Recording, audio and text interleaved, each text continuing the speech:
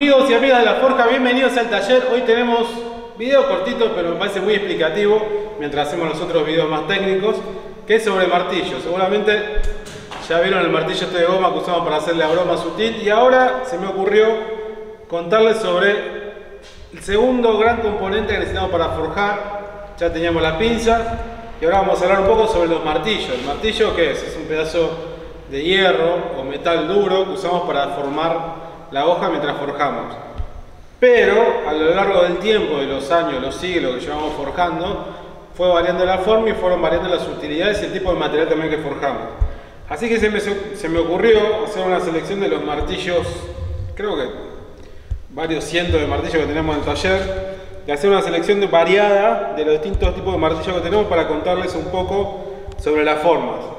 Eh, se me ocurre que el primero que con el que voy a hablar es el martillo que todo el mundo reconoce. Este tipo de martillo se llama masa o maceta, también se le suele llamar. Es el típico martillo que venden en todas las ferreterías para romper las paredes. Si vos no tenés otro martillo, este es ideal para que arranques a forjar porque bueno, es lo que tenés.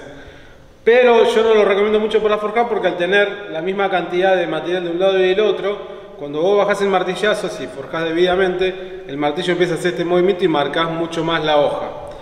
Pero como te digo, si estás arrancando a forjar, te lo compras igual. Este que tengo acá, este martillo que tengo acá, incluso tiene un cabo de caño, era de mi viejo cuando arrancó a forjar y tampoco tenía ningún martillo y usó este para forjar montones de cuchillos y montones de katana hasta que pudo conseguirse un martillo como la gente. El que uso yo, yo voy dejando los martillos ahí, es este que tengo acá.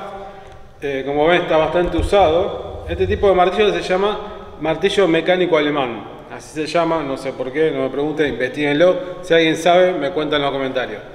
Es el que más uso en el taller y que uso para dar clase. Este formato tengo de varios tipos de, tamaño. Este es el más grande, de 2 kilos. ¿eh? Es el mismo, el mismo tipo de formato y funcionalidad. Lo que me gusta de este martillo en particular, este formato, es que tiene una cara bien plana y tiene esto, esto se llama pena. Y esto me ayuda a estirar material eh, para donde yo quiero, más fácil que estirarlo con el plano, porque esto tiene mucha superficie y está poca. ¿Eh? Como ven, ahí tenemos dos tipos de martillos alemanes, este vendría a ser como el, primo fisiculturista este. Eh, otro martillo que, que, también uso mucho, que usaba en el taller es este que tengo acá. Este formato de martillo se llama masa francesa, estilo francesa, como ven también tiene una pena, pero la pena está desplazada, perdón que me agacho, ahí, ven cómo está la diferencia, la pena esta está un poquito más desplazada y también es súper útil esta pena para estirar material. Como ven estos dos martillos tienen esto, esta parte de acá, este labio que tienen ahí los dos porque son martillos muy blandos. Ahora voy a hablar un poquito sobre la dureza de los martillos. ¿Qué otro martillo raro tengo? Bueno, les conté de eso, bueno acá tengo una masa también francesa, ¿Y qué, es lo que le vende raro esta? Mirá, estos son como primas, digamos, estamos en la más chiquita de la prima más grande.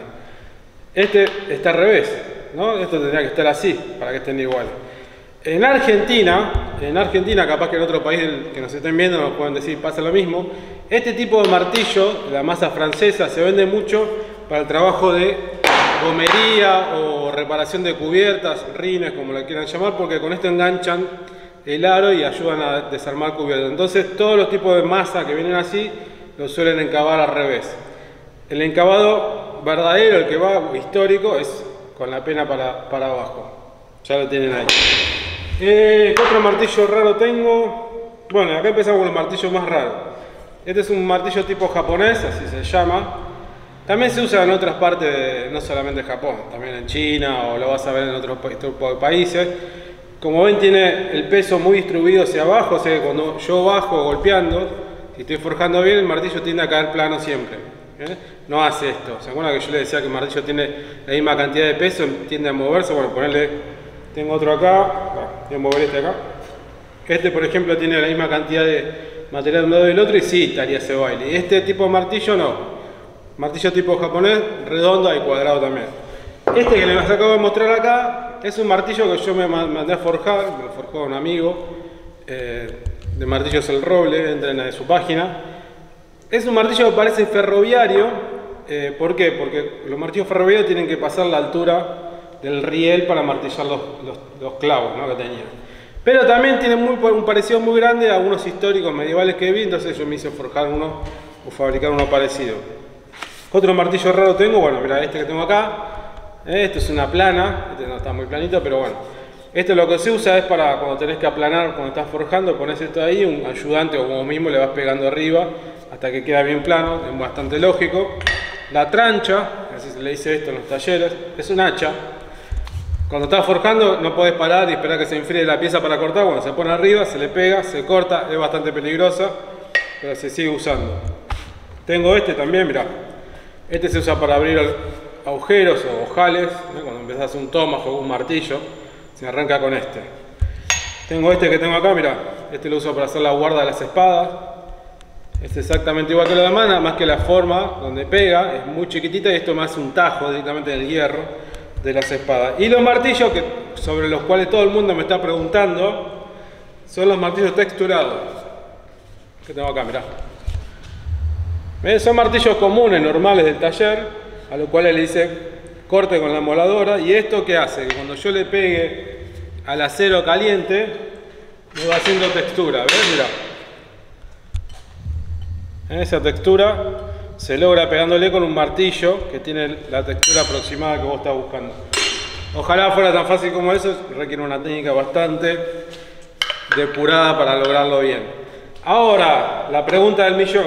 Si yo no tuviera toda esta cantidad de martillos que tengo por todo el taller y tuviera que arrancar ahora y me tendría la posibilidad de comprar dos martillos, ¿cuáles compraría? Bueno, mirá. Lo tendría que conseguirme el mecánico alemán, que fue el primero que estuve hablando, o el segundo, y este que tengo acá, que es el famoso bolita o esférico, eh, que son los dos martillos que más uso, cualquiera que haya hecho un curso conmigo una clase, saben que estos dos son los martillos con los cuales se forja todo. Obviamente yo uso un martillo un poquito más pesado que este, de un kilo y medio, este es de un kilo, así que un martillo de un kilo y un esférico de 800 gramos, con eso te forjas la vida. Espero que les haya gustado el video, eh, nada, déjenme en los comentarios si les gustó, suscríbanse y nos vemos pronto. Chao.